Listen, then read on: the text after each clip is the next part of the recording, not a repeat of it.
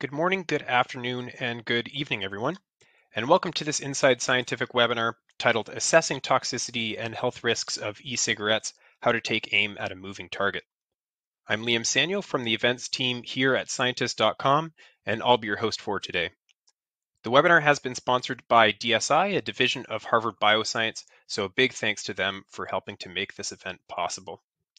We're very fortunate to have Dr. Emma Carey with us today, who's a postdoctoral researcher fellow at the NYU Grossman School of Medicine and the recipient of two Society of Toxicology awards this year the Women in Toxicology Specialty Interest Group Postdoctoral Fellow Achievement Award and the Regulatory and Safety Evaluation Section Award for Postdoctoral Excellence.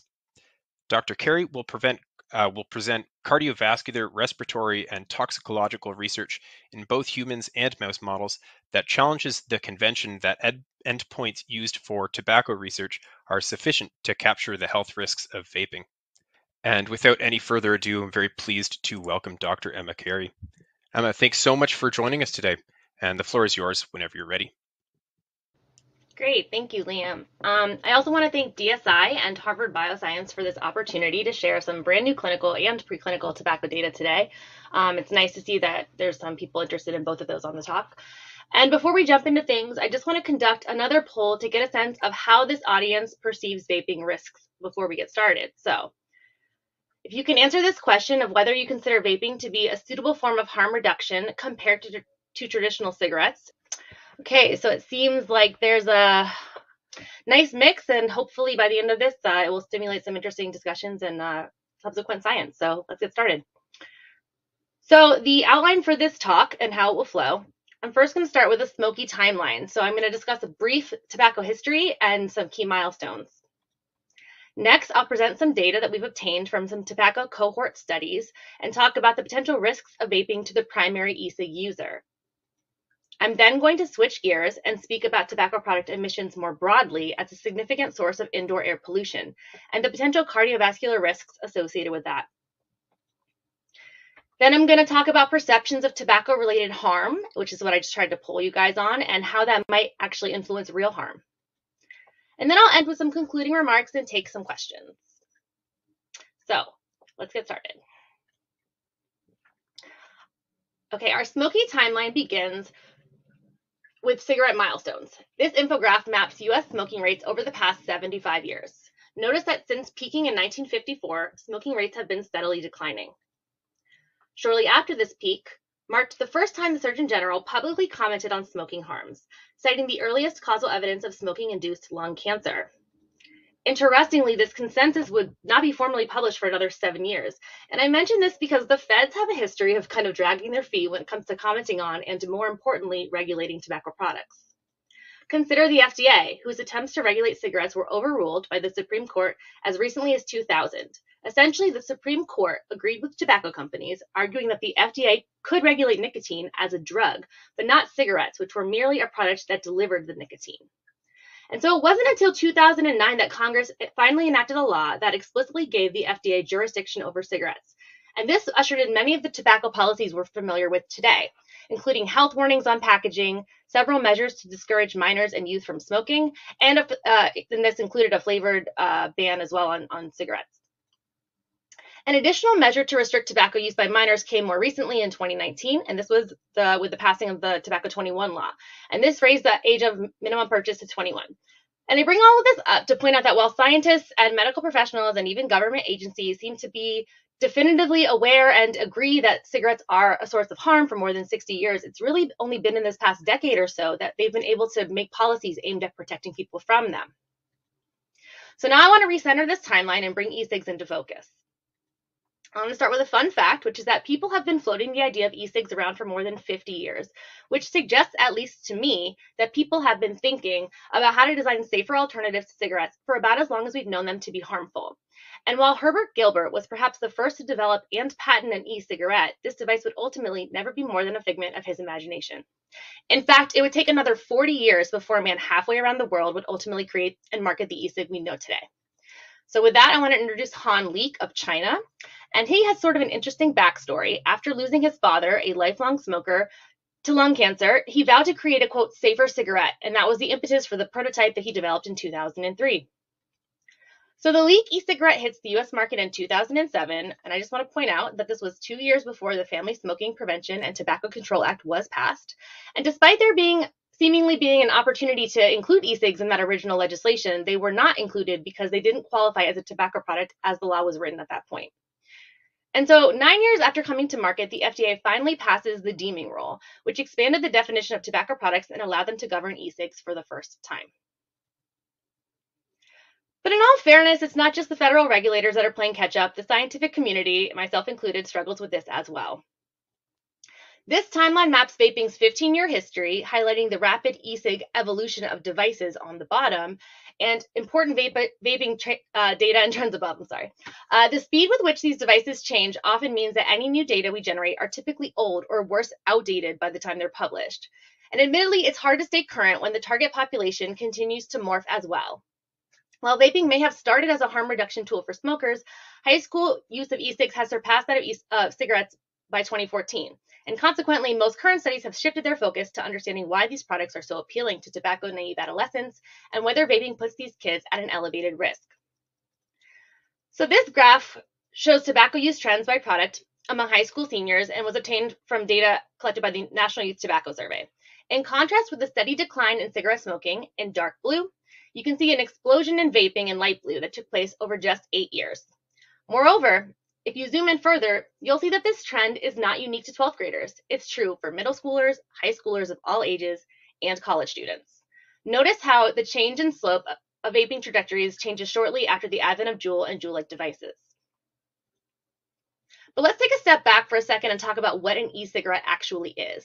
At its core, e-cigs have three elements. They have a cartridge that contains the input e-liquid or vape juice that will be heated and then subsequently inhaled, the atomizer, which is the metal element that delivers the heat to the e-liquid, and the battery that provides the uh, power to the atomizer when the e-cig is used. And so I want to just point out that regardless of what the e-cig you see looks like on the outside, every single e-cigarette has these components. And this is important to remember because e-cigs, like I mentioned, have evolved quite extensively over the past decade. And unlike most products which aim for some element of quality control to ensure consistent user experience, e-cigs have kind of taken the exact opposite approach, where eventually all three of these components would be modifiable.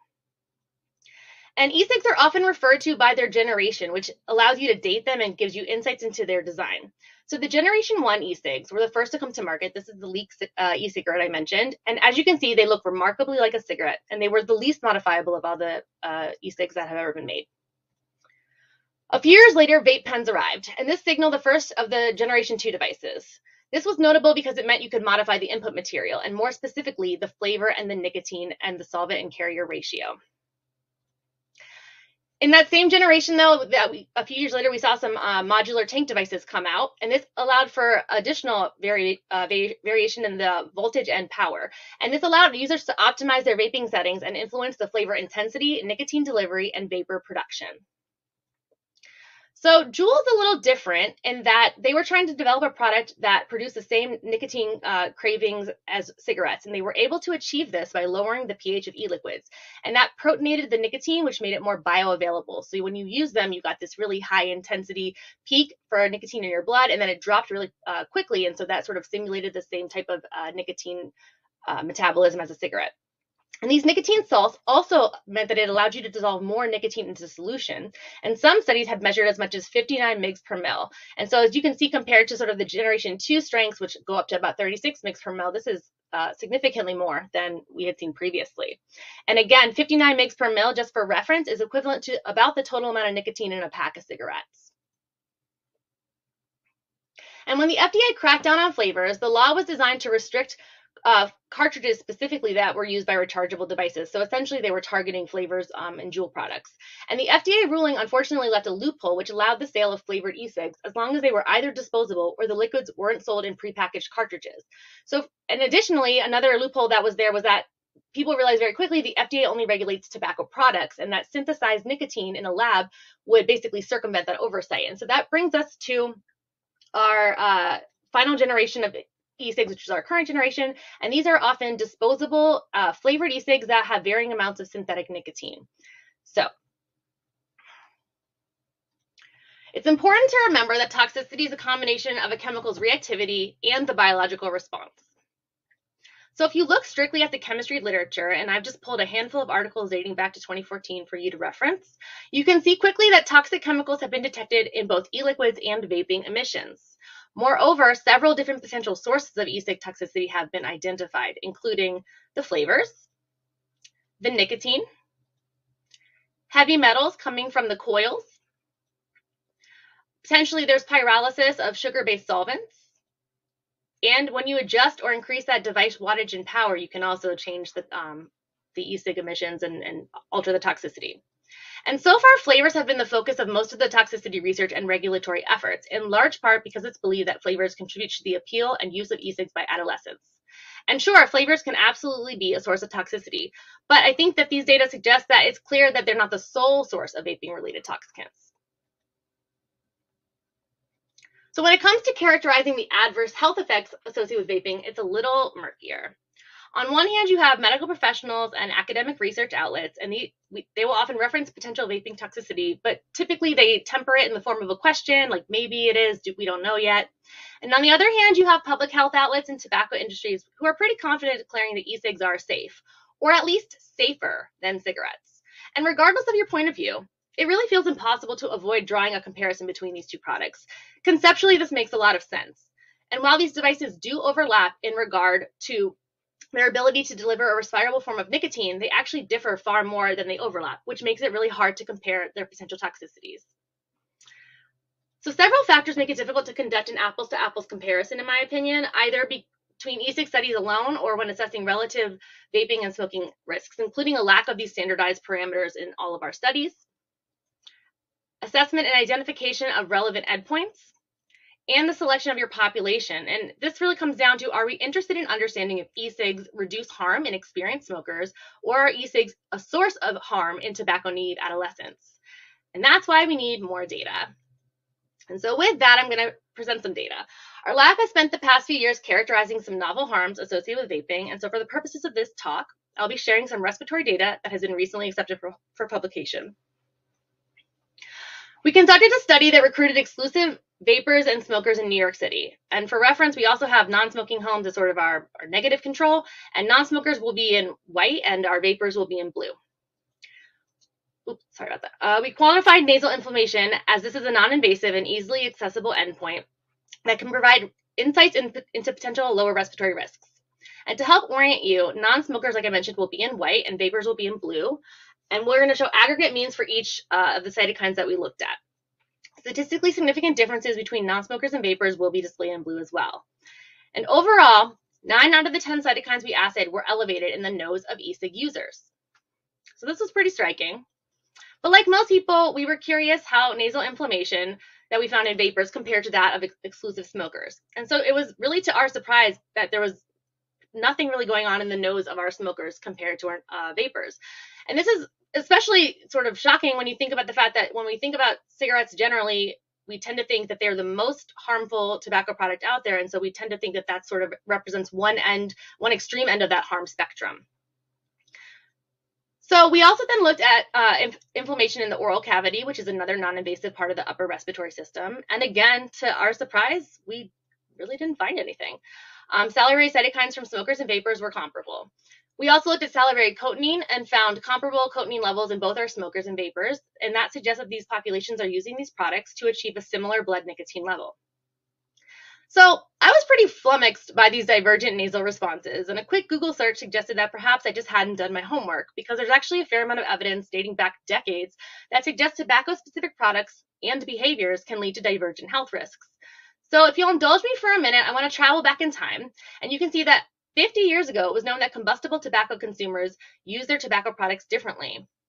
So tobacco smokers overwhelmingly report inhaling partly or deeply into their chest, more than 80%. In contrast, pipe and cigar smokers report that they don't inhale tobacco smoke at all. And this may not seem interesting on its own, but it's now been shown that smokers who report inhaling deeply into their lungs are at greater risk for lung cancer. Meanwhile, in cigar and pipe smokers who don't inhale, they aren't exactly evading tobacco related cancers, but their lack of deep inhalation does appear to bias their cancer risk towards upper respiratory tissues. So, together, these data suggest that how you use a product, even when the constituents are the same, in this case, combustible tobacco, can affect your health risks. So, how does this relate to vaping? You're probably familiar with the large clouds generated by vapors, and it's a very distinct feature of these product users. And if you zoom in, you may notice that there's something a little different about how these people exhale. They don't just use their mouth, but some of them also exhale from their nose. And if you're having a hard time picturing this as a regular occurrence, you're not alone. I'm not sure I even noticed it until I started looking for it. But then I started to see it everywhere. And their tobacco community actually has a coin uh, has already coined this term. They call it retrohaling. And what this means is that people actually intentionally force the uh, product emissions through their nose when they exhale, and that's supposed to enhance the sort of flavor and uh, sort of sensation of the experience. And so I thought, okay, if people are vaping that vape are retrohaling, and then they're intentionally exhaling from their nose, which would then, in theory, expose these nasal tissues to greater amounts of e-cig emissions, maybe this could explain the increased nasal inflammation that we see. And so as I'm learning more about this, I found myself in some very strange rabbit holes, all in the name of research, of course. And perhaps one of the strangest rabbit holes was some of the, the vaping Reddit threads that I found, where myriad accounts from vapors refer to retrohaling and why they do it, how to do it better, all of their recommendations. And I think jackpot. So I'm going to share a few choice quotes with you over the next couple slides, starting with this one. And this person says, when I smoked cigs, I would never exhale from my nose. I looked like a dragon. And so I just want to point out that the community seems to be very aware of this behavior and they're they're discussing it and, and the implications of that we don't know yet, but it's sort of interesting.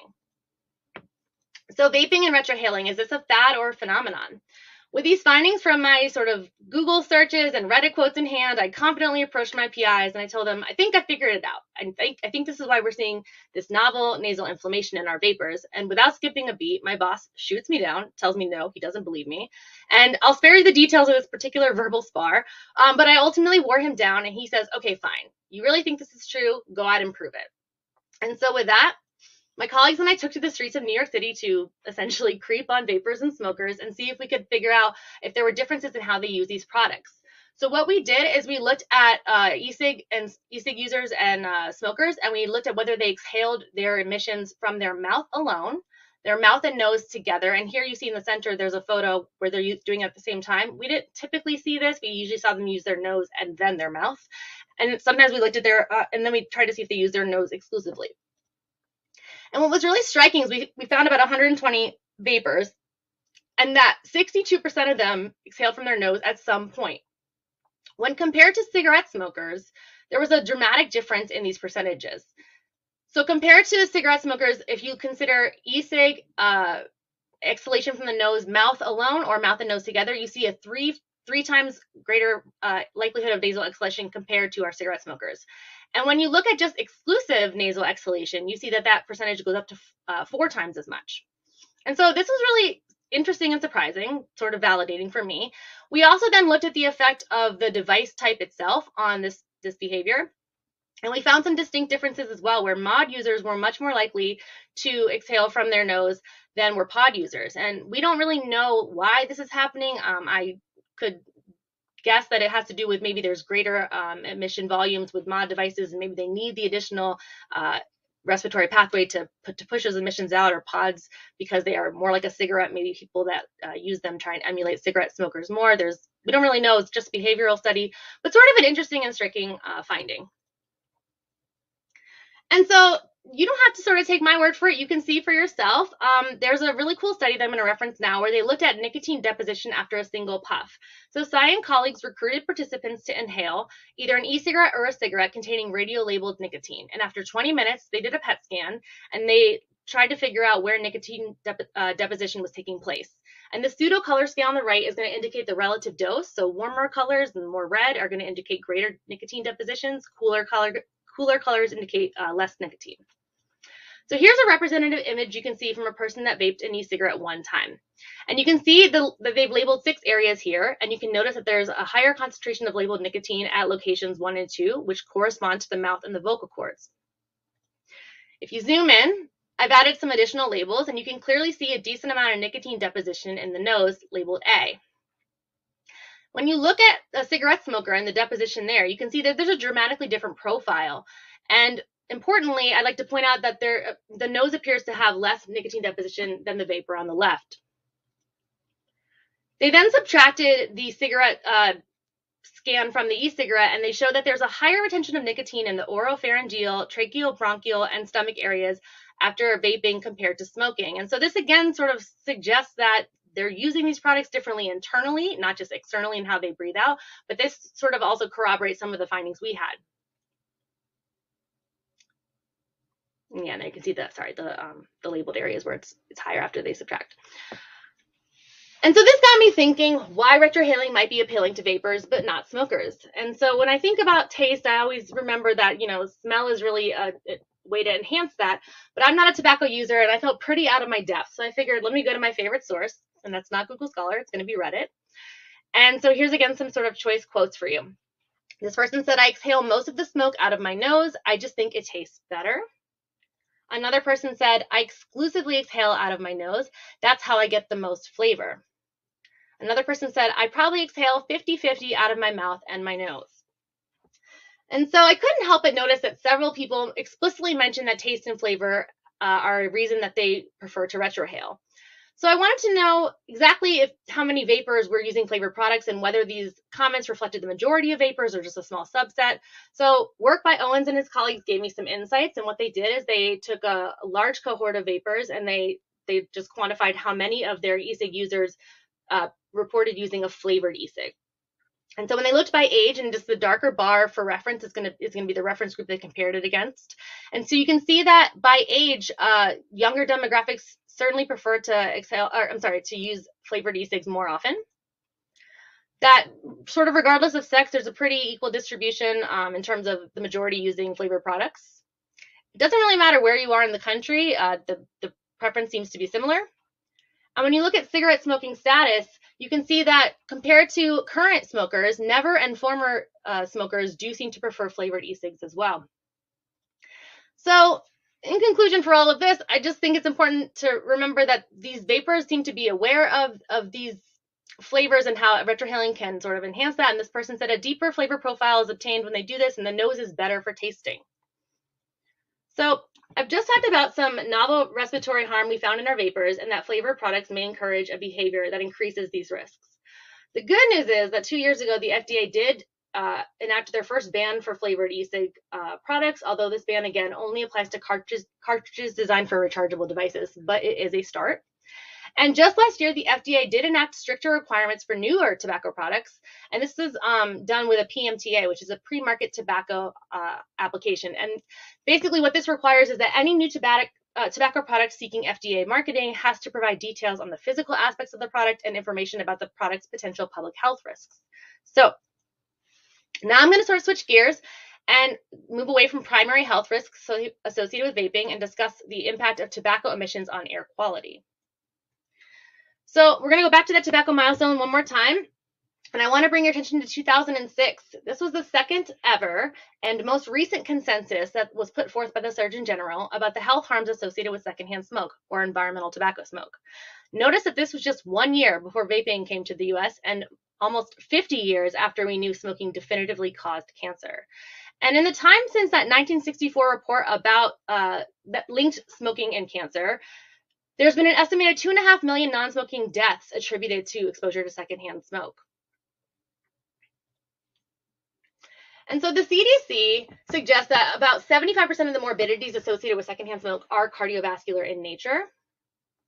And it's estimated annually that about 33,000 people die from uh, heart diseases related to that secondhand smoke today. And more importantly, there's no safe level of secondhand smoke exposure. There's no risk free amount of exposure. And so here's just sort of a, a diagram showing some uh, known pathways that are affected by secondhand smoke exposure. And for the next, the purposes of the next several slides, I'm going to focus on autonomic dysfunction because that's what I studied um, when I was in grad school. Um, but obviously there are others. And so I want to sort of introduce a seminal paper that was the impetus for much of the work that I did. And this was a, an Arden Pope study from 2001 And he had this clever idea to go to an airport because there was a definitive uh, or defined smoking section and a sort of non-smoking section. And this is the early 2000s, so again, different than it is today. And so essentially, he hooked up some participants to an EKG, and he wanted to see what was going on with their autonomic regulation. So there was a non-smoking and a smoking section. He let them sit in these places for two hours at a time. On the left-hand side, you can see the mean number of lit cigarettes for each of the smoking windows. And on the bottom, the associated PM3 uh, that was related to those uh, the number of cigarettes in each of those time frames. And on the right side, you can see there's their heart rate variability, which is one measure of autonomic dysfunction. And this is specifically overall heart rate variability or SDNN. I'll get into that in a second. And basically, he wanted to see what would happen to this heart rate variability when people were in a smoking section.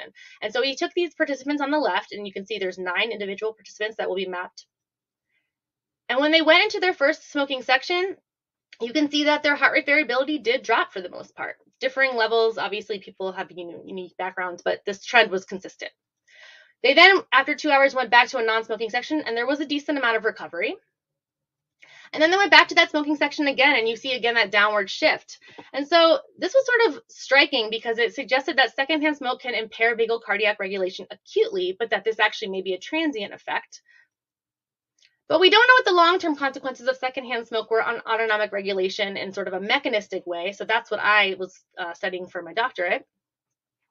And so to get at this, we did a, a, rodent study. So we took these DSI telemetry implants, the HDX11, so we could get EKG recordings. We implanted them.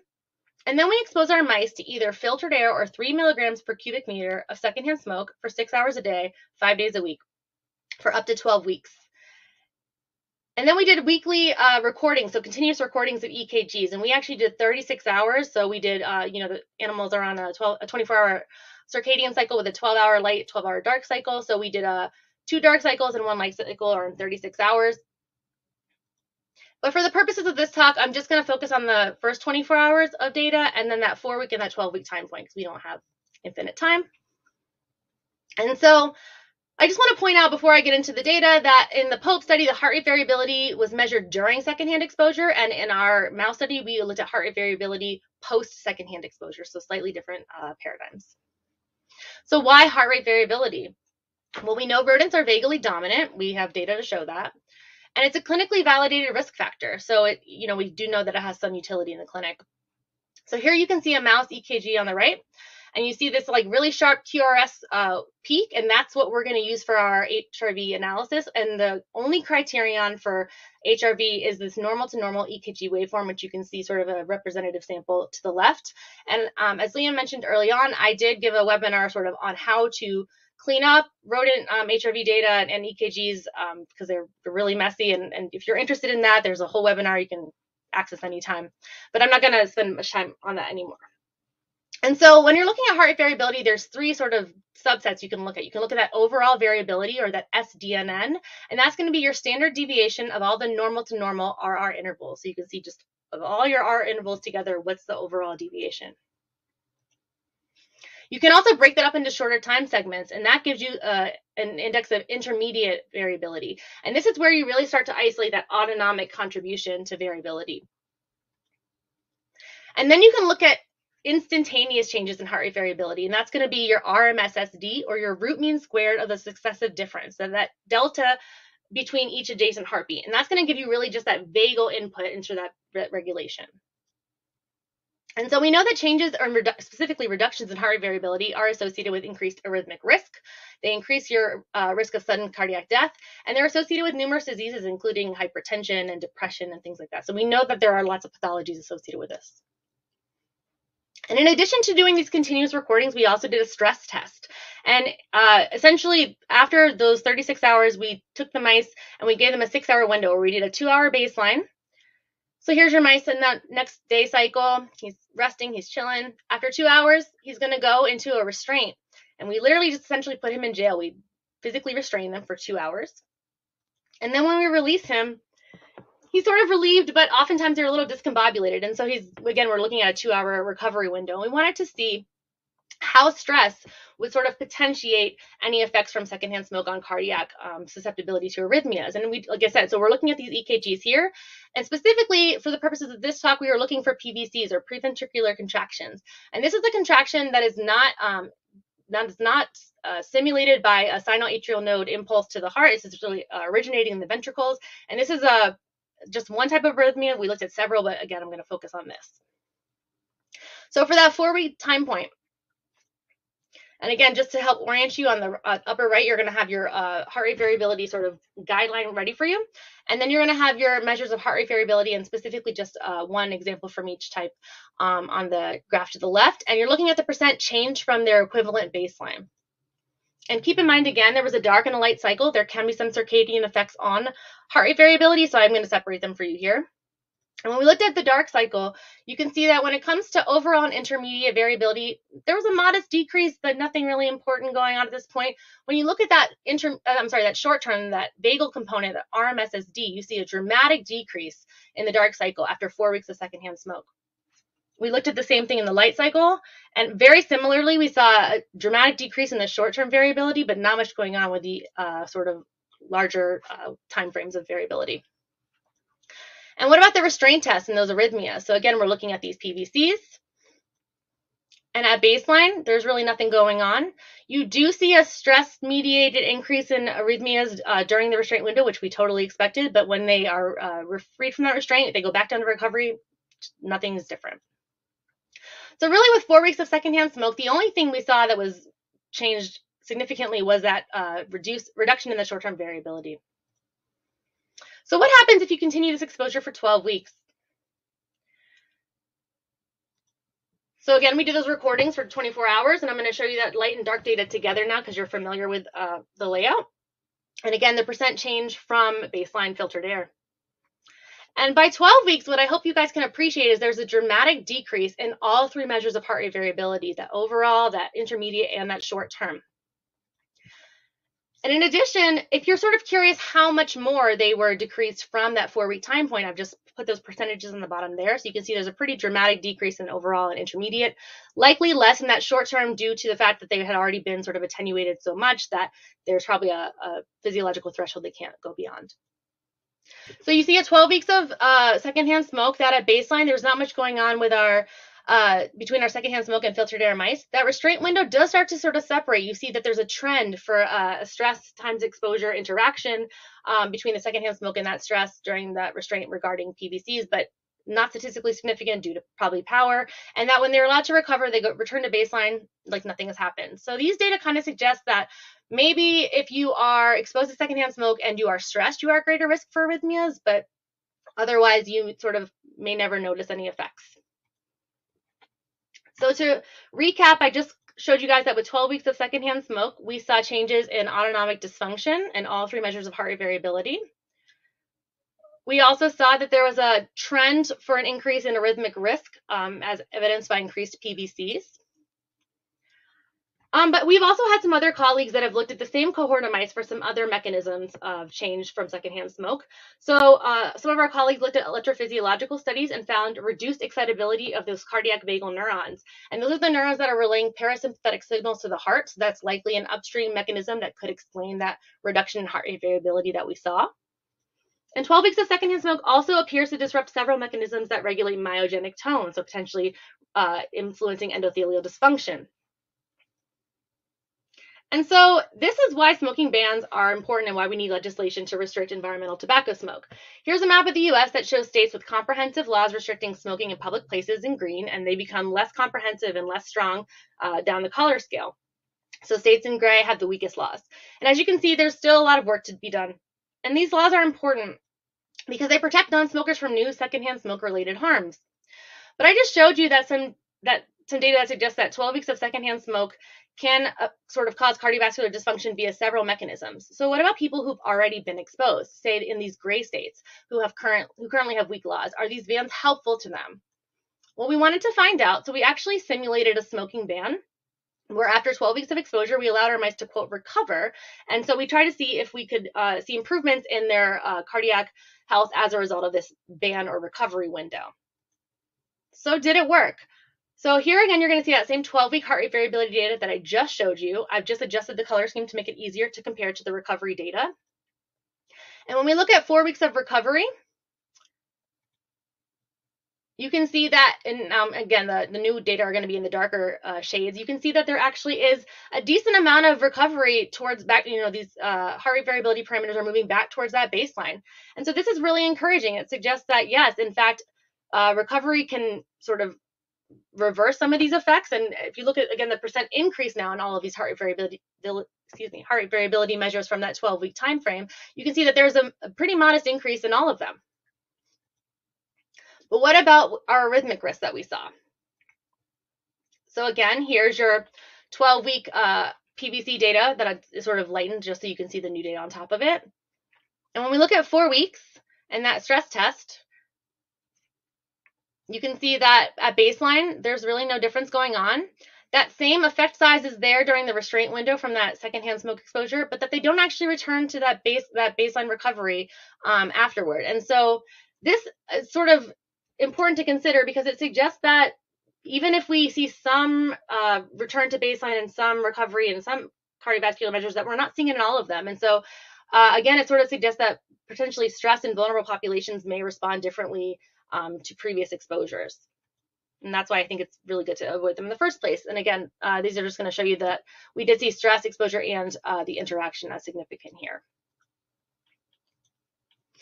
And again, this suggests that these cardiovascular consequences, they may not, all, may not all be reversible, but some, in fact, do seem to be going the other way. So now I'm going to switch over and talk about public perceptions and how they influence risk. And this is a really cool study where they polled dual users, so people that use cigarettes and e-cigarettes. And they said, if you were given the choice, would you prefer to smoke, vape, or do you not have a preference in various scenarios? And you can see that um, people that uh, are stressed, that just woke up, that you consuming alcohol tend to prefer to smoke. And that the other sort of subset of scenarios, overwhelmingly prefer to vape. And so this suggests that there's this um, belief, at least, that vaping may be safer and therefore people may feel more comfortable using it in more scenarios than they would smoking. And this isn't surprising. But when you look at specifically their responses um, to what they prefer to use around different tobacco users, you see something really interesting. When they ask you if you want to use a vape or a cigarette with a smoker, there's really a split group. They don't have any strong preference. But when you ask them how, what they want to use around a vaper, they overwhelmingly say they want a vape. Moreover, when you ask them what they prefer to use around a loved one, so that's going to be with their friends, at a family event, or with children, again, they overwhelmingly want a vape. And so again, these data suggest that they think th these products are safer, so they feel more comfortable using them in more scenarios and potentially around, you know, family and, and vulnerable populations like children. And so this sort of got me thinking, well, how do perceptions of risk impact the actual risk? And so our lab is pretty split between assessing health effects and air quality. And so some of my colleagues were interested in how vaping and smoking affected indoor air quality. And so they took some measurements from a subset of homes that I showed from that tobacco cohort earlier. Our participants were allowed to use these respective products for 45 minutes ad lib. And for the purposes of this slide, I'm going to focus on PM 2.5. So non-smoking or tobacco-free homes are going to be in purple, and they had virtually no detectable PM 2.5. This, I'm sorry, particulate matter. Um, it's just a size reference in these households. And you can see on the right, the log transformed PM pollution is graphed. And then on the left side, you can see the the mean of the PM for those households as well as the maximum that was uh, measured. So our smoking homes are going to be in pink, and on average, smokers spend about half of their allotted time smoking, about 22 and a half minutes. And I just want to point out that secondhand smoke, which is essentially what we'll be measuring, is the combination of both mainstream expired and side stream smoke generated when the cigarette isn't being used, so that butt end of the sort of burning cigarette. And compared to smoke-free homes, there was significantly more PM in these smoking homes, which is a I just did some brief calculations, 22 times greater PM in smoking homes after they used these products for 20 minutes. So what about secondhand vape? Unlike smokers, vapers use their e-cigs throughout their entire home visit, which, which likely contributed to this large range of PM readings here. And compared to smoke-free homes, there was significantly more PM, but this wasn't significantly different from our smoking homes. I also want to mention that secondhand vape, if that's in fact what we want to call it, is demonstrably different from secondhand smoke because unlike cigarettes, there is no side stream emission. They don't generate an aerosol when they're not being used. And so everything that is emitted into the air and then measured has been inhaled and passed through the respiratory system of the vaper. And when you look at mean PM in vaping homes, it's roughly 66 times greater than that in non-smoking homes. And so again, these data suggest that maybe people feel more comfortable using them indoors, and so that could contribute to this, you know, larger indoor air pollution we're seeing in these vaping homes. Um, and that they may be more comfortable using them around family members. And so again, we're seeing significant amounts of PM in these homes during their use. And I just talked about uh, PM 2.5 pollution and how it was associated with some tobacco products indoors. And when we think about PM specifically, size is a super critical consideration because it influences how far into the lungs these particles will travel. So here you can just see a, a schematic where you can see 60 microns is about the width of a human hair, and then you see some PM uh, ranges to the right. And these are important because, like I said, they, they sort of tell you what they're going to do in the body. And so anything smaller than two and a half microns is considered respirable. And what do I mean by respirable? Oh, I'm sorry. Um, and so here's just some examples of uh, various respirable particles. You can see tobacco smoke falls into that range, viruses and bacteria, dust, pollen is uh, a little bit larger than was typically respirable. And when I say respirable, here's an example. You see PM10, which is greater than that respirable range. It's going to go into the trachea. It's likely going to get coughed out. Nothing's really going to enter the lungs deeply into the alveolar sacs. But in these smaller ranges, PM2.5 and PM0.1, these can actually enter the lungs, go deep into the lungs, and get into these alveolar sacs. Then from there, they can actually enter the bloodstream and make their way into the brain. And there's an important subset of respirable particles, and these are the nanoparticles. These are 20 to 100 nanometers. And these are unique because they can actually access the brain directly through inhalation through your nose. They can actually bypass all your sinuses and go directly and deposit into your brain. And this is important because we know that e-cigarette emissions, like tobacco smoke, are sort of in that similar range. And so if you think about just from a size perspective alone, it's clear that not only are the lungs and potentially nose and sinuses, like I've been arguing, that these might be affected by these exposures, but potentially systemic, uh, systemic effects via um, access from the bloodstream and neurological effects in the brain could be uh, important outcomes from e-cigarette exposures. So I sort of want to end my my pitch by talking about some latent um, cigarette effects and what this might mean for how we think about vaping. So here's a graph where on the left you can see the number of cigarettes consumed per capita and you have years on the bottom and you can see there's peak cigarette consumption is in the sort of 1940s and that blue bar is going to be lung cancer death per 100,000 people and you can see that peak lung cancer death is really latent by about 20 years. So between that peak use and those peak deaths there's a huge latency window suggesting that some of the effects we're looking at may not be immediate. Similarly, for cardiovascular, they looked at non-smokers and smokers and looked at the number of cardiovascular uh, disease free years and then the number of cardiovascular the years they spent having a cardiovascular disease. And this was in uh, middle-aged adults. And they found that in non-smoking adults uh, and specifically men here that they had about 29 years of that were cardiovascular free. And compared to smoking men of a similar age they had five fewer healthy years and their life expectancy was also reduced by five and a half years. A similar trend was true for uh, females as well and so I'm going to just wrap this up by making a uh, sort of reference to some basic toxicology aphorisms that I think are important to remember when we're trying to think how do we adapt our science to to address this sort of evolving field. And the first is the precautionary principle. And this principle originated as a link to help us deal with uncertain scientific information. And it acknowledges that because science doesn't always advance quickly enough to establish absolute cause and effect, that one should use common sense when the science is uncertain or absent. And so to that I say there are lots of studies out there, you know, people are publishing all the time on vaping and they may show an acute effect from vaping or they may show that there's no effect from vaping. And these may all be very true and valid outcomes, but remember that single experiment, experiments only tell one sort of facet of a story. And so you need to think about this comprehensively.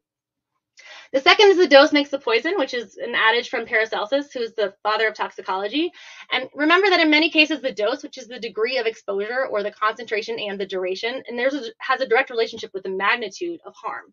And so we should be thinking about the dose of these tobacco products. And and are these new products that don't require multiple puffs in a short succession the way that a cigarette does? You don't have to use an entire vape in one session. What are we really, what is the dose of that? And moreover, historical evidence and some work that we've done suggests that there's product specific behaviors. And so that suggests that the selection of your endpoints is really critical. We want to make sure that we're not just using traditional endpoints because it's what we're used to seeing and we risk missing an entire outcome because we're just not looking in the right places. The next adage is going to be all models are bad, some models are useful. This is one of my personal favorites from British British statistician George E.P. Box. And he basically says that you know, models can be useful and they're especially useful for toxicology and looking at mechanisms and studying LD50s for predicting risk. But as tobacco products get more complex and the populations become less clearly defined, we need to adjust our studies to try and mirror these populations better. And again, it's just a, a plea to model things that are really real world exposures rather than just these sort of super strict, you know, controlled studies. We want to make sure we're actually representing what's going on in the real world. And finally, I encourage everyone to get creative with your research and to think outside of the box, but with caution. Um, we tend to use techniques and approaches we've relied on for years to study something new. And I would argue that sometimes that simply won't get us the answers we need. And so when in doubt, look to the product users or at least check in with what they're saying on Reddit. They they're pretty candid and honest and give you a lot of information. It's the best boots on the ground information that I've been able to find. And so, you know, we should be thinking about referencing them and, and taking what they say with more than just a grain of salt. And lastly, I think it's important to contextualize and improve tobacco messaging. This paper from Addictive Behaviors in 2016, I think, sums it up really nicely when they talk about communicating tobacco harm. And they say, well, compared to what? And so they're essentially their take home messages were that currently cigarettes are the default comparator.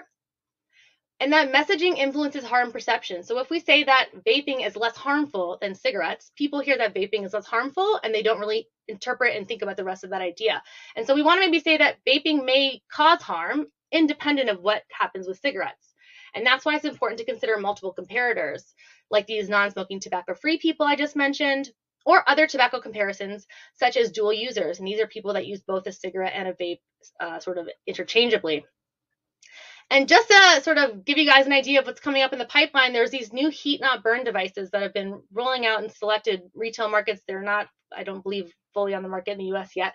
And essentially, this is kind of like the love child of a cigarette and an e-cigarette. So essentially, they take tobacco, they they compress it up, they dip it into a solvent, often the solvents that are found in e-cigarettes, and then they essentially heat up that solvent to extract those tobacco components, and you vape that. So you're basically vaping a cigarette. And we don't really know what the consequences of that are yet. And so just keep in mind that this is, a, again, a very fast moving and evolving field. And we should be thinking about how to, you know, conduct our science and keep pace with that.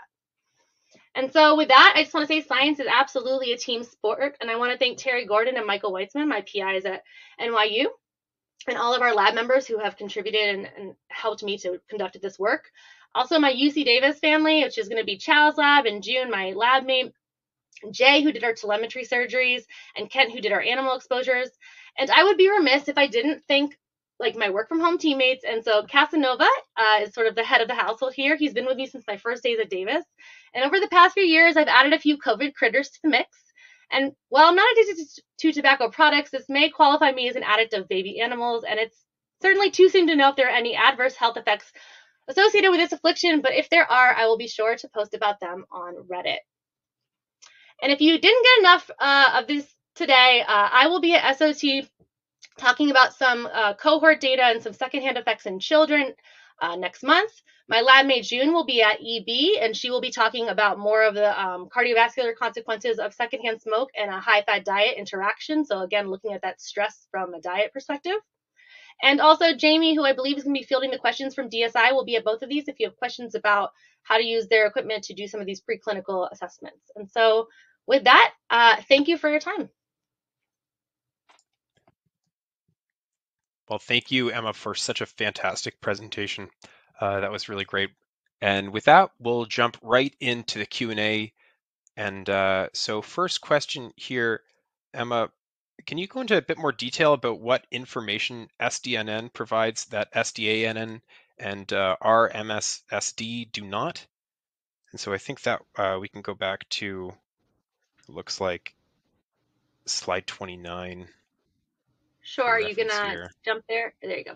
Yeah. Um, yeah. So essentially, they're all telling you about uh, heart rate variability broadly, but as you can see on the bottom, I have sort of the vagal and sympathetic, which is isolated and intermediate. That's all encompassed in the overall, as well as other things like humoral factors and, uh, you know, hormones and, and age. All of those things are going to sort of affect that overall variability and those we know that variability tends to reduce over time and with age and with diseases um, but it's it's really muddy when you look at that overall, which is why it's not the best indication of what's going on at like sort of a true autonomic isolated level, which is why we look at different time frames to try and understand which components might be impacted. Um, and I will say that while it is a clinically validated risk factor, that we don't I don't think have an appreciation for how much heart rate variability has to diminish in order for it to become pathologically relevant. We just know that in people, when they monitor them over time, that when we see a reduction in that same person, we know that that tends to be associated with worsened outcomes. Um, so it's it's not understood as far as like exactly the threshold that's needed to be changed in order to see a difference, but uh, it, it is helpful in terms of tracking one's own sort of health from a cardiovascular regulatory or regulation uh, perspective. Awesome, great answer. Um, interesting question here from uh, Ginny, who's asked for air quality data. Uh, for example, in, in, New York City, where lots of the population lives in multi-unit dwellings, um, there could be third-hand smoke residue. So, have you assessed, you know, neighbors' smoking habits, or have you do you know of any data that might uh, that might look at this? So that's a great question. We're actually uh, working on some studies now trying to look at that specifically, like trying to assess uh, exposures in hallways, for example. Um, again, it's really hard to pinpoint the exact uh, source of that because, you know, we don't know the relative contribution from one unit to another. Um, in addition, we, you know, a lot of New York City has banned smoking indoors. It doesn't mean people don't do it, obviously. Um, but it, it is sort of discouraged. And so people tend to do them near windows. Um, that was our experience in our homes at least is that people tended to use these products closer to the windows. Um, and so it, it's a great question and um, it should be studied more but currently we don't have the data. Right makes sense. Um, so question another question here. Uh, did you use a na- nasal swab to get the cytokine um, concentration? So i think that would be talking about this this slide here, the study? Yeah, so we use Leukosorb strips, and actually, Ilona Jaspers' lab at UNC um, are the group that really perfected this, and we work with them to uh, to generate and, and, get these materials. But essentially, it's a it's a, they've optimized this. It's a way to get um, nasal information in the field, and actually is a very stable way to get it. I think they're trying to optimize it for use in like a a field um, a field scenario. So it's just a Leukosorb strip that you can buy. We cut it up and then we basically clamp the nose uh, for two minutes to make sure that both sides of the nose are touching the strip, and then we we just uh, extract the um, proteins from that and run those. All right, great. Um, all right, try to squeeze just a few last questions in here. Uh, Rosendo has asked uh, the fact that fact that vaping increases nasal inflammation uh, compared to cigarettes. Has anyone found an association between uh, sinus or nasal polyposis and vaping? So great question. Um, I that's kind of my uh, where I'd like to go with this next is trying to understand if there are actually um, pathological um, and sort of upper respiratory outcomes associated with these uh, inflammation. Uh, we see a lot of the same cytokines elevated in our vapers that are elevated in uh, patients with chronic rhinosinusitis, which you know is just defined by uh, sustained upper respiratory and nasal inflammation. Um, but again, the etiology of, of CRS isn't really known, and we don't particularly know if this is a way to make someone uh, have CRS or if it really sort of exacerbates that or not. But great question. And I, again, the, these these data are coming out in April um, in uh, the ATS Red Journal, and so uh, you know hopefully this will spur some people to maybe look more closely at the upper respiratory effects in these in these users. Yeah, definitely. I mean, even just advancing uh, in the slides just a bit here, but yeah, looking at these, I mean, it's clear that there's there's some things that are going on in, in vaping that just you don't see in smoking, and so it's going to be really interesting to see where the research goes because, um, yeah, like nasal polyposis, these are things that we don't see in smoking, and so um, yeah, research that really has to be done. And I will just add that we also looked, I didn't present any of the hookah data, but we did look at hookah users as well um, in a similar context. And hookah smokers are remarkably similar to vapers in terms of the nasal inflammation. So again, a lot of nasal inflammation in hookah smokers, not much going on in cigarettes, which was surprising to me because I sort of expected that tobacco products would would bias together. Um, and again, we found similar um, increases in nasal exhalation in those hookah, hookah smokers as well. And so again, it suggests that maybe how they're using is affecting different tissues and therefore leading to different outcomes. And and so I think that there's there's quite a bit that we can be doing in the future about this. Mm, interesting. Um, well, I think in the interest of time, we'll just have one last question here. Uh, one from Guido who's asked uh, if you're aware of any correlation between vaping and allergy. Another great question. Um, unfortunately, when we were doing these home visits, this wasn't something we thought was going to be interesting. And so we just sort of like happened to to look at nasal inflammation compared to saliva and, we saw it more in the nose than in saliva which was not what we expected initially. Um, so certainly we're doing more uh, nasal swabs now and we are asking much more about their um, allergy status. And we're also uh, asking if they're on allergy medication or you know sort of um, antihistamines and things like that. And these are longitudinal studies that we're now conducting. So we're trying to see if these change over time. So hopefully we can actually correlate that back to um, changes in allergies and, and seasonality and things like that. Fantastic. Well, Emma, thanks so much uh, for sharing your insights today. It's been a real pleasure having you with us. Yeah, thanks, Liam, so much. Yeah, absolutely. Um, and a big thanks also to the audience here for participating. And last but not least, we'd like to thank the sponsor, DSI and Harvard Bioscience. So in closing, we hope you enjoyed this Inside Scientific webinar, and we'll see you again next time. Have a great day, everyone.